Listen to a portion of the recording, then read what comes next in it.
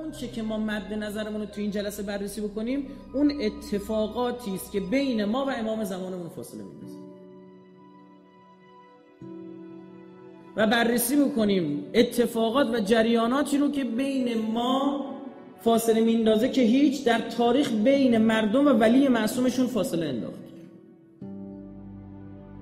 مثلا ما ادعا کردیم خدای خدای تا انقلاب مهدی از نهضت خمینی محافظت بفرمایید ادعای خیلی سنگینی بقیه ادعا کردن حکومت حضرت موسی تشکیل بدن. حضرت موسی پیامبر اولوالعزم.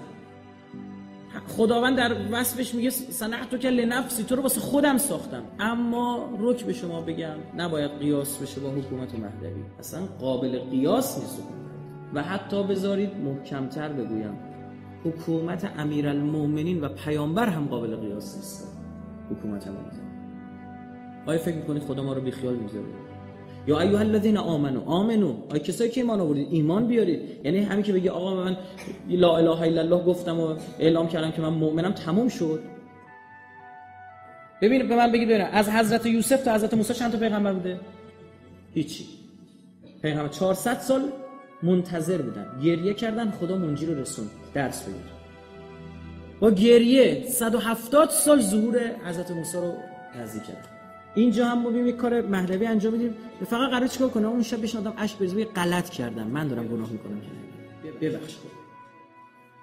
بابا میگه 170 سال بخشیده. از کجا معلومه 170 سال فاصله